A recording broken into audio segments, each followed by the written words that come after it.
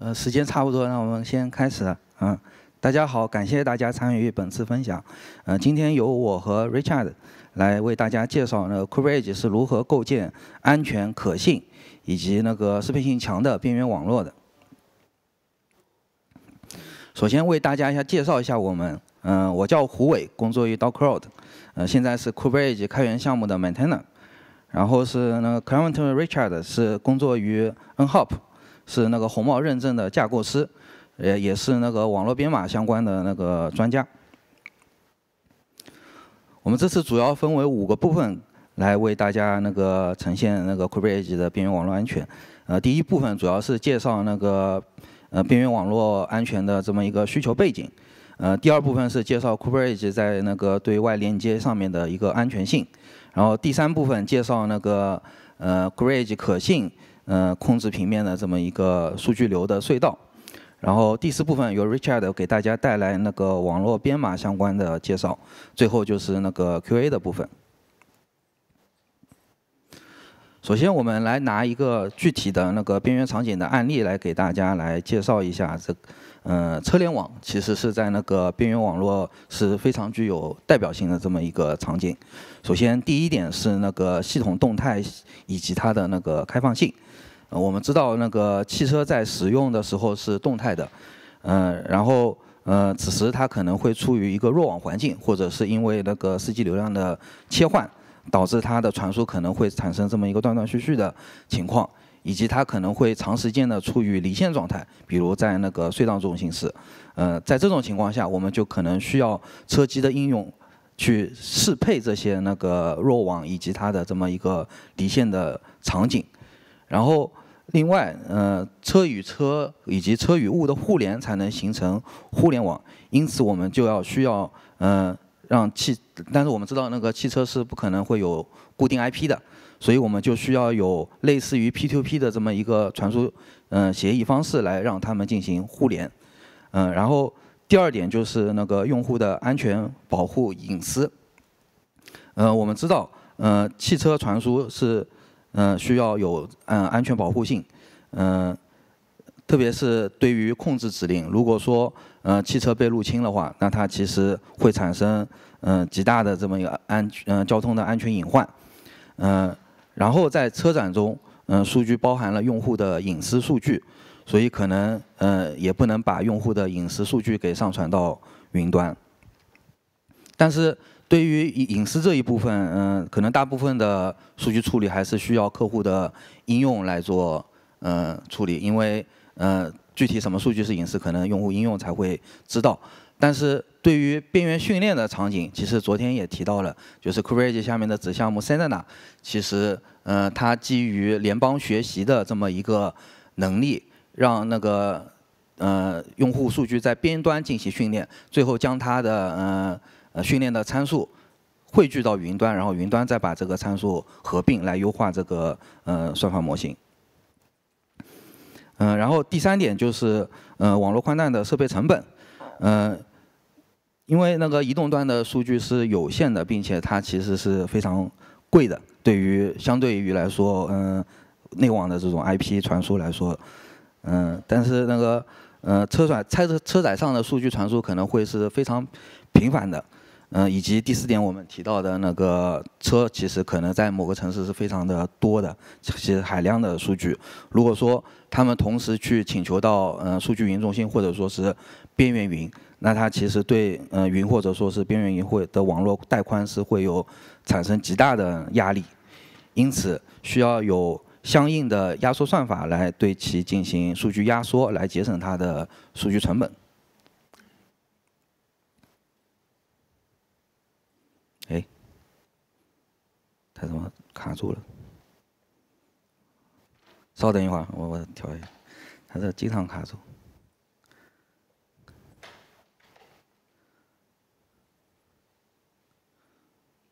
哦，OK。然后我们把那个需求用需求提炼成那个用户故事以及那个呃挑战，其实是如下的。呃，边缘网络的。异构性质，就需要让那个边缘去实现高质量的应用，会变得非常的困难。其中有代表性的就是 5G 流量和 WiFi 的相互切换。呃，用户需要一个能够支持弱网以及保障边缘计算，呃，保障它那个安全的边缘计算平台，来帮助用户去运维它的应用。然后其中面临的挑战主要就是有那个隧道的安全，嗯，以及对弱网环境的支持，还有它的那个高可用性以及那个高流量。嗯，边缘平呃边缘计算其实就是帮助他们去解决了这些问题，然后我们后面来看具体看边缘就呃 c o u r a g e 是怎么去帮助他们解决这些问题的。首先是那个网络的安全传输，呃，在聊之前，我们先要去了解一下 Kubernetes 的核心组件，它分别是怎么样的一个传输方式。首先在云端，呃，Cloud Hub。呃，它是 Watchlist 呃 API Server 去获取到它关注的资源，然后可能会把一些呃边缘端去上报的一些资源的状态去更新到那个 API Server 里面的呃资源。然后是那个 Stream 和 Terminal Server，它们主要是处理呃 API Server 的 Debug 类似的接口，就比方说是 Logs 或者 XEC 或者是 Matrix，呃。对，这个 API 流量会先达到那个 Stream，然后再由 Terminal Server 去提供隧道，让那个 Terminal Client 去连接。这个后面我们会详细的去说明。然后呃 route 主要就是提供一个接口，让客户去调用，呃，然后去呃向边端去发送那个 Event Bus 和那个 Service Bus 的数据到边端应用。这相当于是一个简单的隧道。但是，呃，如果说是交互比较多的话呢，其实就下面前面提到的使用 P2P 隧道的那个 Edge Mesh 会是更好的选择。然后，admission 主要就是处理那个 Kubernetes 自己 CRD 资源的验证，因为我们知道 CRD 只能做一些简单的验证，然后通过 Admission 就可以去做字段与字段的联动的校验，或者说是去做一些呃资源的写入。然后我们看边端。边端主要就是那个 Edge Hub 和那个 Terminal Client。Edge Hub 主要就是连到那个 Cloud Hub 云端去做那个心灵通道的数据传输。然后呃，Terminal Server 就是给呃 Terminal Client 去连接的。然后还有一个那个证书的服务幺零零二端口，主要就是在边端接入时去提供那个证书去下载的。这个到时候下面也会去提一下。然后最后就是那个 Meter Server。Meter Server 就是相当于模拟呃 API Server 在边端去提供读的接口，它其实呃我们知道 Kubernetes 在边端会有一个呃 SQLite 的数据库，呃这样它其实在边端产生的读信息都可以直接访问 SQLite 数据库，而不不用去访问到云端，这样其实在离线场景也是非常有帮助的。然后我们看一下嗯。我们安全是怎么去处理的？呃，在呃 Kubernetes 中，就主要就是提供两类型的证书，一个是呃自签证书，那它可能也是呃通过那个标准的这种证书平台去下发的。还有第二个证书就是呃 K8s 的 CSR 申请的那个客户端服务端证书。呃，然后我们现在把它们都抽象成了标准的一些通用接口，来提升它的可读性和可维护性。嗯，然后我们可以看那个 H Hub 去访问到 API Server，主要去用到的就是 API Server 的双向认证能力。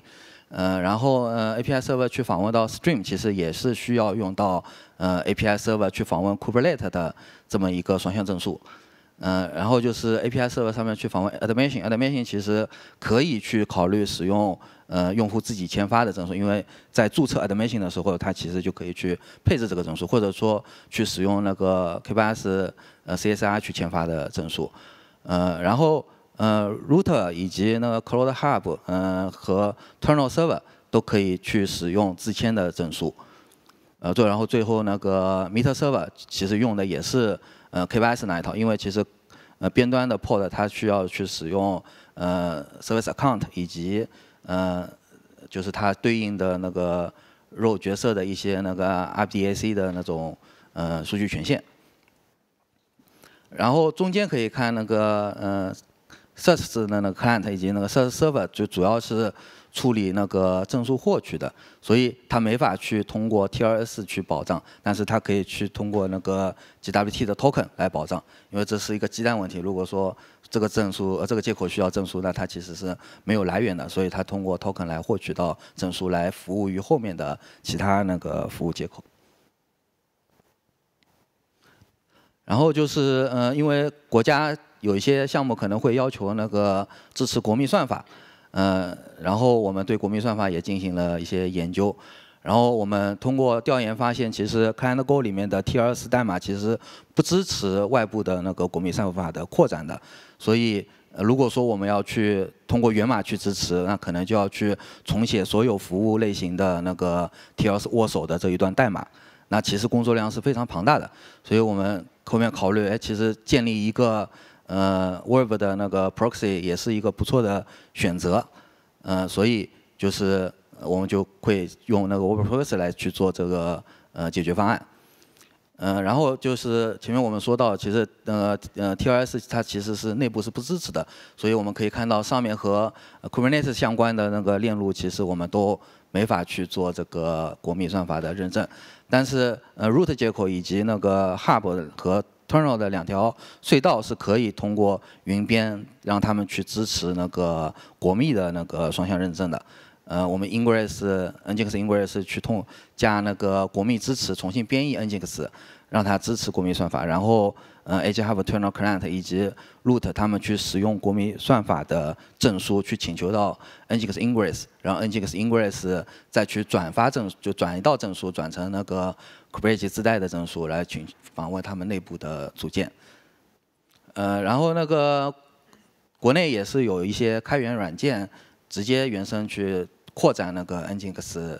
呃，做那个 Web 服务的，就比方说淘宝的天眼镜，它本身就去支持国民算法，以及它也有自己的 Ingress。然后后面就是呃 Kubernetes 安全审计，这个因为昨天已经提到了，反正大家感兴趣的话就可以去下载材料来官网去看一下。嗯，然后我们看一下那个 Kubernetes 的那个 Hub 隧道，呃，因为其实我们知道，呃，在边缘场景云边是单向的。呃，边端它不可能提供一个外网 IP 给到云去访问，那这个代价是非常大的，所以它就需要去建立一个反向隧道。因为我们知道那个 Kubernetes 它是 API Server 要去调 Kubernetes 的，那这条路就可能断了。然后通过这个反向隧道就可以去建立他们的通信。呃，然后这个隧道其实我们从上往下看，首先是那个 Edge Controller 和那个 Device Controller。嗯，他们会去 watch list API server，他们自己关注的资源，比如说 Edge Controller，他会去嗯 watch Pod 啊、Node 啊，还有那个 Config Map 等等。然后 Device 它主要就是我们自己的能力，就是 Device Instance、Device Model。然后他们嗯 watch 到资源就会下行下发到那个边缘节点，然后上行的话就是他们会监听到那个边缘节点上报的变化状态，然后他们就会拿到这些状态去更新 API server。呃，Single Controller 主要做的就是它会去同步资源的那个 resource version，呃，这样其实当那个 Cloud Call 重启的时候，它就可以拿最新的 resource version 去访问 API server，这样就不会去拿到呃历史数据了。然后整个隧道也会通过 Quick 去支持那个弱网，这个我们后面会具体提到。呃，然后在 Cloud Hub 里面，呃。Message dispatch 它去拿到数据之后，去把消息发到对应 node 的这个 node message queue，然后 node message queue 会把这个消息再去用 ACK 的方式去下发嗯那个 Edge Hub 去做交互。然后这个呃，因为我们知道那个 Kubernetes 它其实是基于那个嗯，就是最新消息去做那个处理的，所以它其实对于嗯。数据重传它其实是呃没有问题的，所以那个在我们 Message Queue 那边，它其实也是呃用了那个至少一次的这种保障去做那个数据传输。然后 ACK 它会次四五次，如果说成功的话，它就会把最新的 resource version 更新到呃。就是 single controller 它关注的呃 object object sync 或者说是 class object sync，它取决于就是到底是那个集群资源或者说是秘密空间资源。呃，然后如果说失败的话，它就会丢弃。但是呃，single controller 它会去做重试，拿到那个记录的这个 object single 去判断它的 resource version 是否是最新的，然后再去判断是否是删除或者说重新放到这个呃 node message queue 去做那个重复的处理。嗯，然后未来就是我们提到可能会去考虑去把它们相互通信的隧道做一个加密解密，或者说如果说流量比较大的情况下，我们也会去考虑做时间段的合并以及拆分。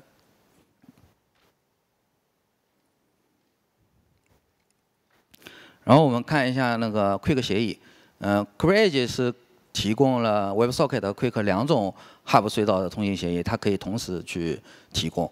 然后边缘节点可以选择性的去接入，去考虑 WebSocket 或者说是 Quick 接入。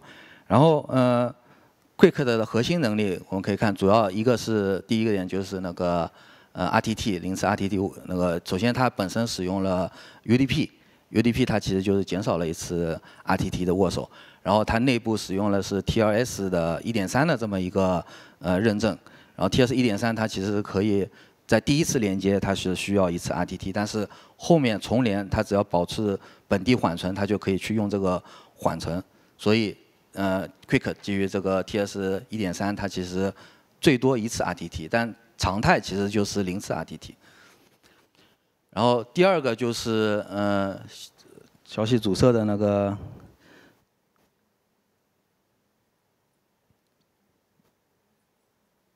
啊，阻塞头的复用。嗯，Quick 流与流之间其实它们是呃相互隔离的，所以呃如果说单个流阻塞了，它其实是不会影响其他流的通信的，呃所以呃它这边其实可以非常好的去兼容这个弱网重连的这种场景，这主要得益于它通过那个 StreamO 的去实现了那个重排序的能力，然后是那个连接迁移。呃，就比方说我们在使用一个呃会议或者说是直播的 apps，呃，如果说我们从 WiFi 切到流量，它就可能会产生一个断连，这主要是因为呃它的 IP 变了。然后我们知道那个 TCP 的思源，它只要是有一个去产生变化，它就会需要重连。但是 Quick 它有自己的那个 connection ID。它这个它使用这个 Connection ID，只要这个 ID 不变，就算它的资源变了，它也不会产生重连，它也能去呃做更好的支持。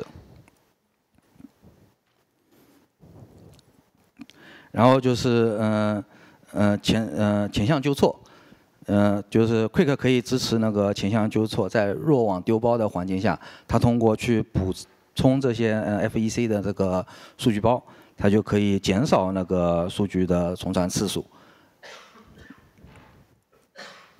然后我们看那四张图表，呃，第一张图表就是它的那个呃链接的建立的时延，呃，蓝色的是 TCP Quick 的，呃，橙色的是那个 Quick，我们可以看到 Quick 明显是快于呃 TCP 的，这主要还是得益于它的那个呃 RTT 的优化，呃，然后后面三张图是分别是呃模拟百分之五、百分之十五和百分之三十。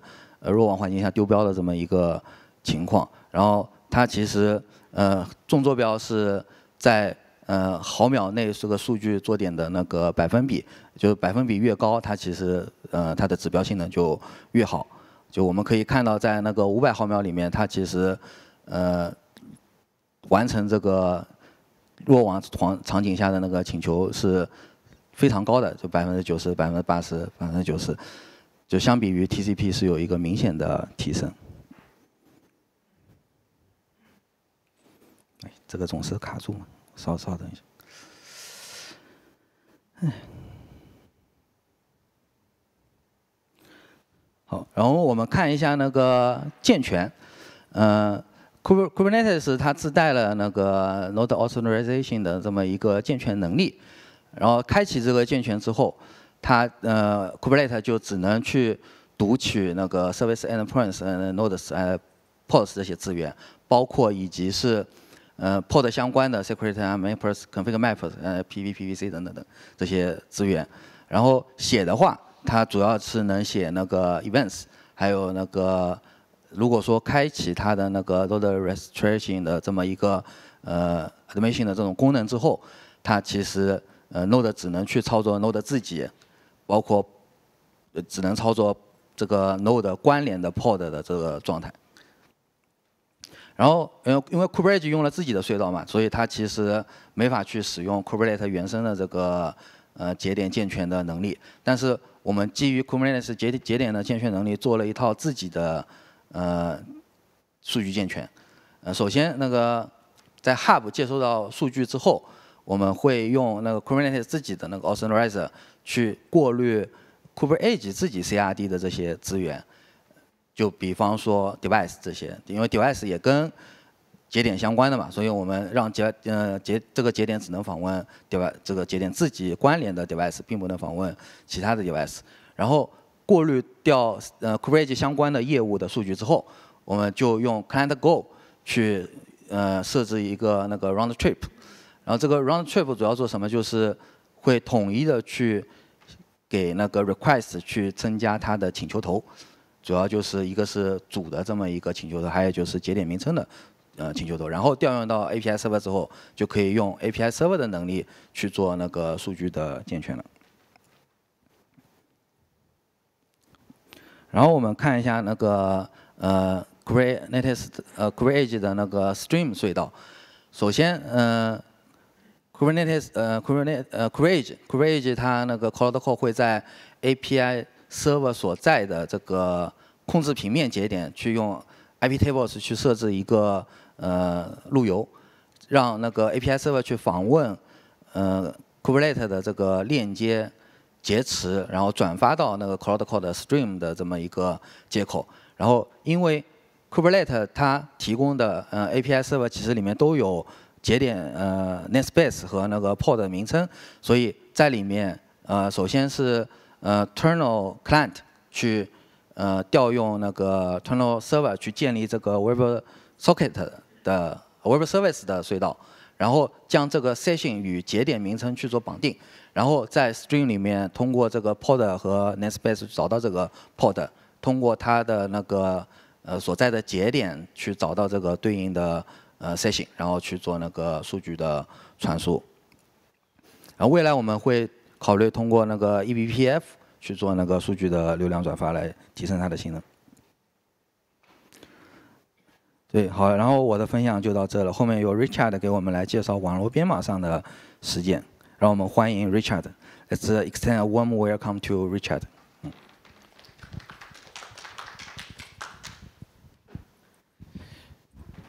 Okay. So hello everyone, my name is uh, Clement. I'm a former Red Hat architect, uh, instructor and engineer.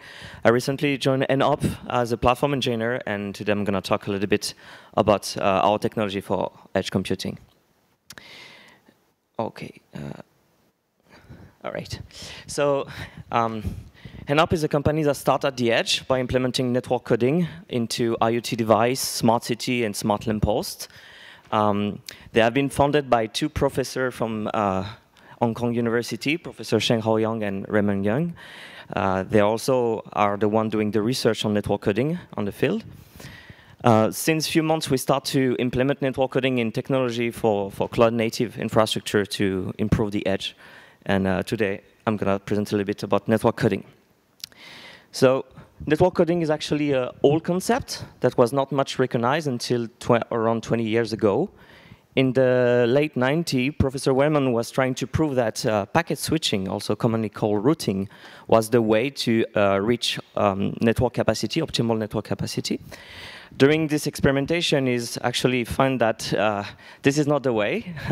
the way to do that will um, be by having computation uh, in intermediate nodes.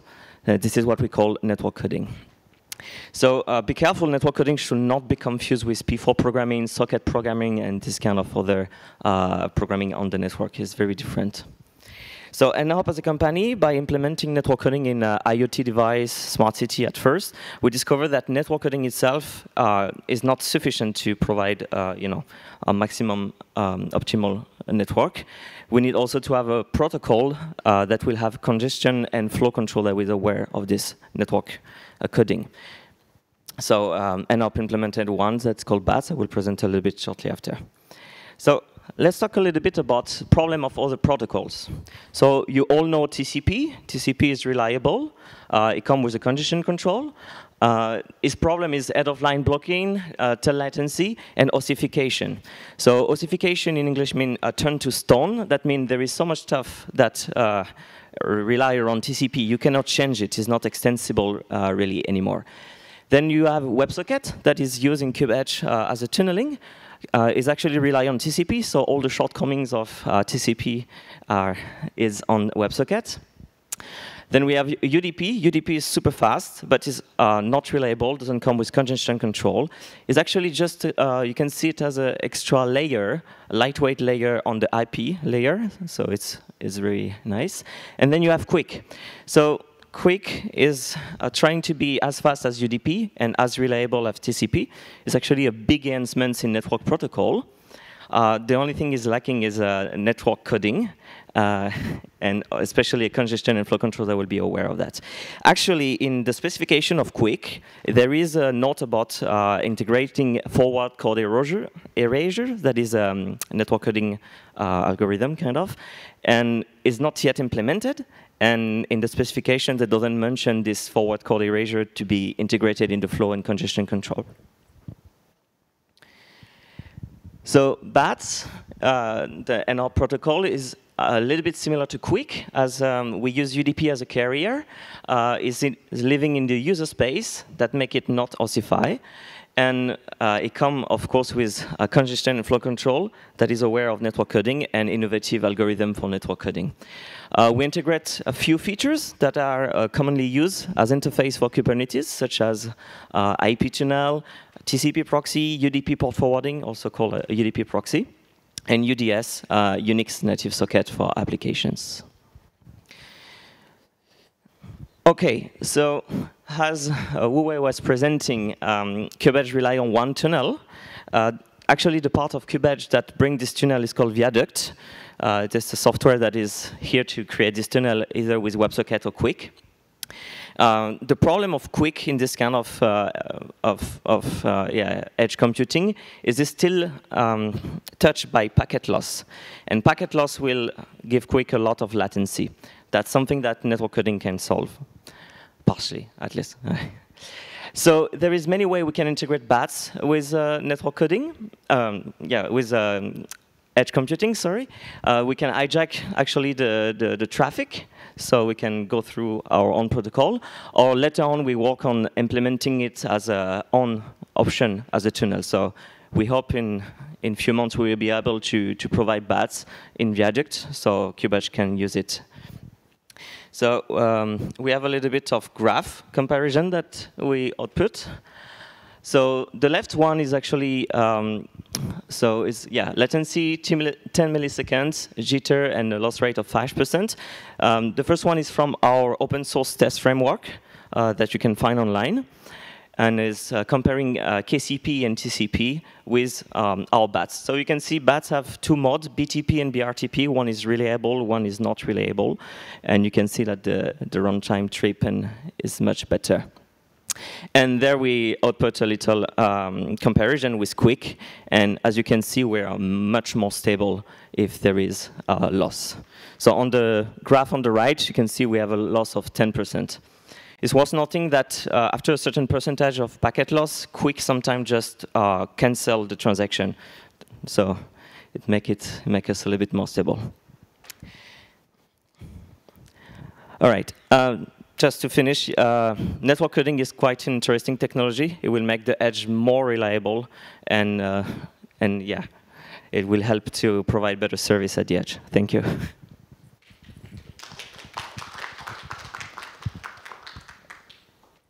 喂，